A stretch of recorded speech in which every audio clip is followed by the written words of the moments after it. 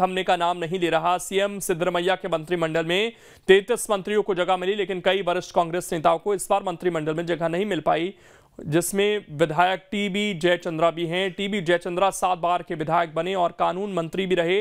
शनिवार को जब शपथ ग्रहण समारोह था, जयचंद्रा ने समर्थकों ने सिद्धरमैया के घर के बाहर विरोध प्रदर्शन भी किया।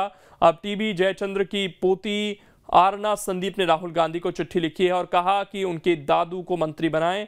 आरना संदीप ने कन्नड़ भाषा में एक वीडियो भी जारी किया है, जो सोशल मीडिया पर वायरल हो रहा है।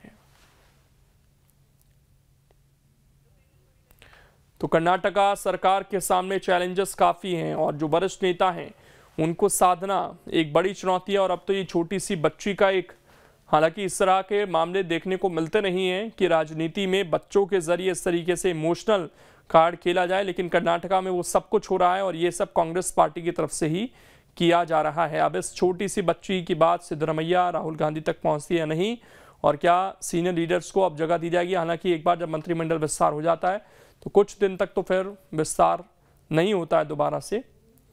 और ये उनकी तरफ़ से एक लेटर भी आया है, जिसमें वो अपील कर रही हैं कि उनके दादू को मंत्रिमंडल में जगह दी जाए। सात बार के विधायक हैं वो।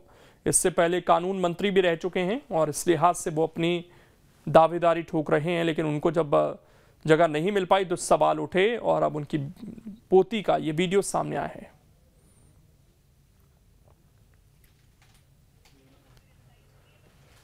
तो दो तस्वीरें हम आपको दिखा रहे हैं। एक तरफ़ बच्ची की अपील, दूसरी तरफ़ उसका लेटर और सीधे राहुल गांधी को संबोधित करता हुआ लेटर, जिसमें वो मांग कर रही हैं कि उनके जो दादा हैं, उनको भी मंत्रिमंडल में जगह दी जाए।